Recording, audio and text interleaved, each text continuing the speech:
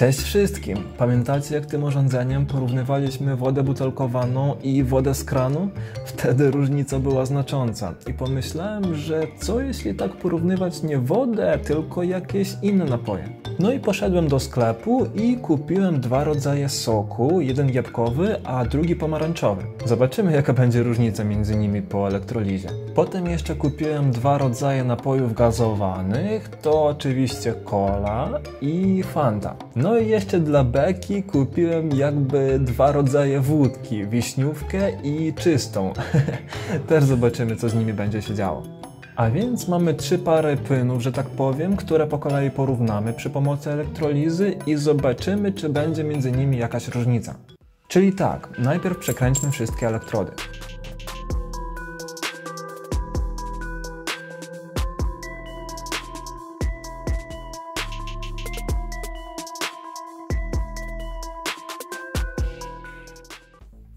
Ok, i jak tamtym razem będę potrzebował dwie szklanki, gdzie nalejemy może najpierw soczek.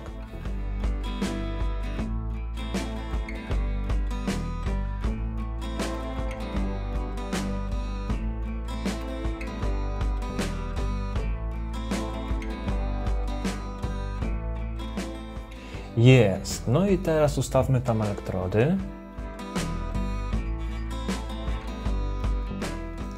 Tak, podłączmy zasilanie. No i włączamy.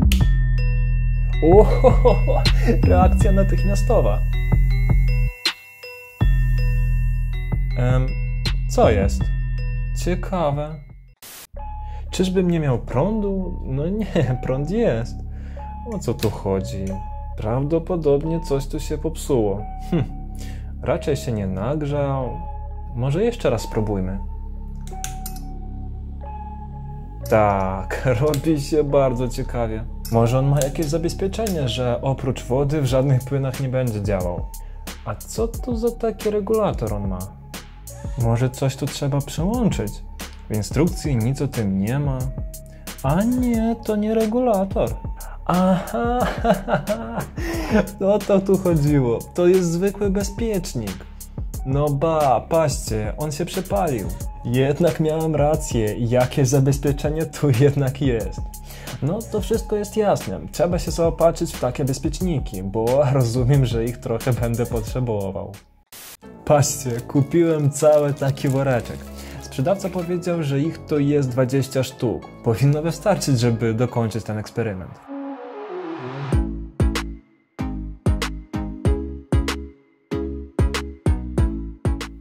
Tak, chyba jest dobry.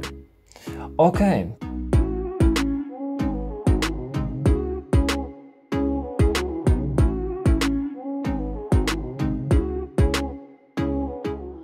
To co, z sokiem wszystko jest jasne. W trakcie jego elektrolizy wysiada bezpiecznik.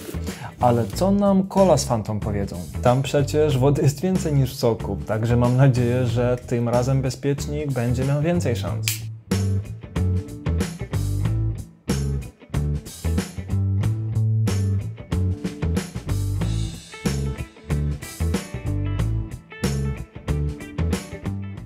Tak, chyba wszystko jest gotowe, a więc włączamy. O, działa. Tylko nie wyłączaj się.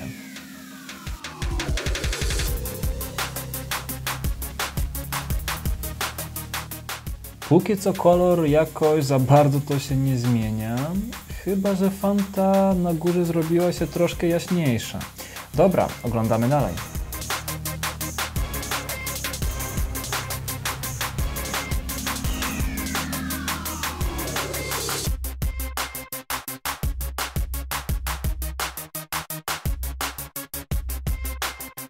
O, wydaje się, że trzeba wyłączać, ponieważ Fanta coś za bardzo już się pieni. Tak, wow, ona się nieźle tak nagrzała. A kola? O, temperatura coli jest o wiele niższa niż Fanty, ale i tak trzeba bardzo ostrożnie ją trzymać, żeby się nie poparzyć. Jej kolor w sumie za bardzo się nie zmienił, ale od niej tak wali, że myślę to już nie ta sama kola, co była w puszce. A z wyglądu to może tylko odrobinkę jaśniejsza stała, co? No dobra, przyjrzyjmy się fancie. Ona, jak już mówiłem, też trochę jaśniejsza się zrobiła, ale oprócz tego to nic szczególnego. Myślałem, że te napoje jakimiś tam zielonymi się zrobią, jak ta woda z kranu. Dalej na liście mamy wódkę. Nalejemy ją do szklanek. A, no i na wszelki przypadek uprzedzam, że tu nie ma nic wspólnego z reklamą alkoholu. Pamiętajcie, że alkohol szkodzi zdrowiu. Tak. O, akurat. Ile tu mililitrów? 200. Będę wiedział, że do tych szklanek mieści się około 200 ml. Okej, okay, pewnie zaraz mieszkanie u mnie będzie zajeżdżać jak w destylarni, ale mam nadzieję, że sąsiedzi wykażą się zrozumieniem.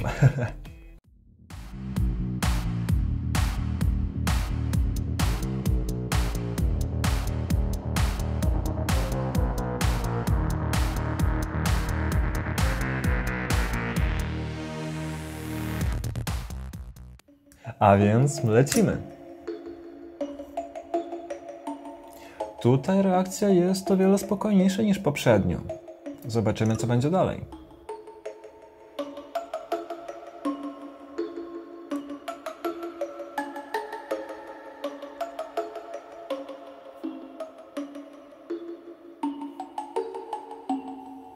Patrzcie, czysta wódka troszeczkę się koloruje na żółto, widzicie?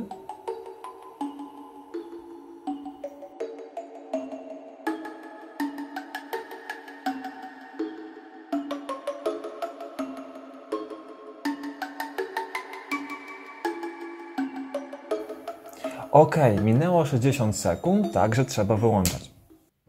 Jak widzicie, czysta wódka pokolorowała się na żółto. Jeszcze jakieś tam czarne coś pływa. Ciekawe.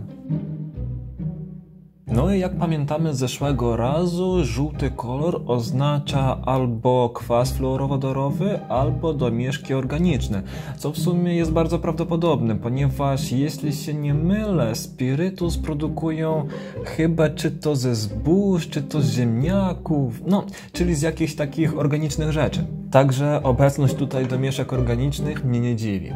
A wiśniówka to tak rozumiem, że płyny się kolorują tylko wtedy, gdy są przezroczyste. Ale jeśli one mają już jakiś kolor, to raczej zmieniają go na tyle nieznacznie, że tej zmiany prawie nie widać. A tak poza tym, w przypadku z wiśniówką, szklanka się nagrzała tylko na górze, a na dole jest zimna, że jak widzicie mogę ją tak po prostu w ręku trzymać. No dobra, a na dzisiaj to tyle. Dziękuję wszystkim za oglądanie i do zobaczenia wkrótce.